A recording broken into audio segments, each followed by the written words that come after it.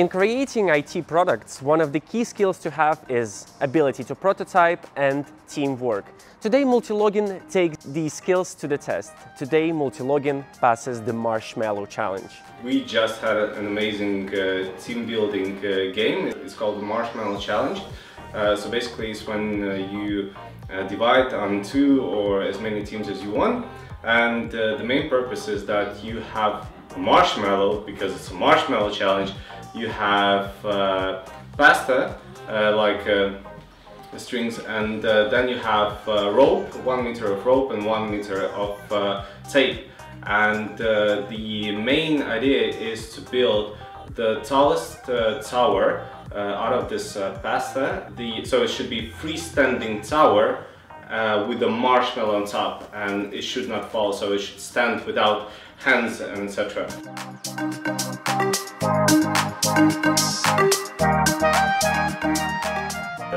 to plan somehow how to build it first of all, but I was just thinking like how you can plan building some tower from spaghettis like it's crazy some stuff and I have done this before.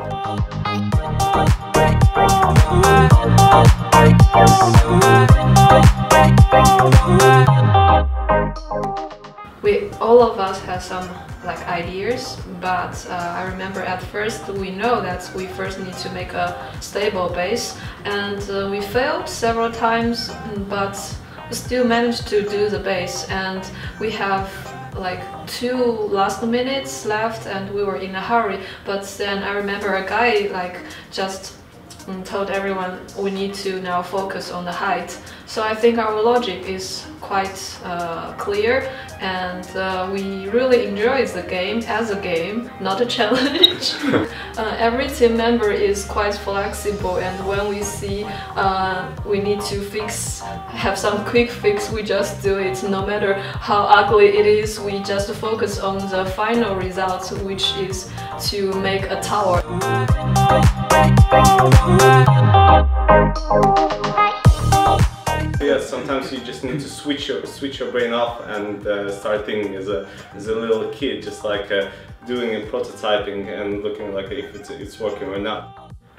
I don't know, like in our team it was so cool because uh, we like uh, just organically divided on team. It was just like a, we had idea generator, uh, then we had like a, the, the guy who was uh, me, who was supporting with resources. Then we had like a helper and the feedback uh, person. It was uh, really fun and uh, it's a very good like a team exercise, I would say. So what will be our next challenge?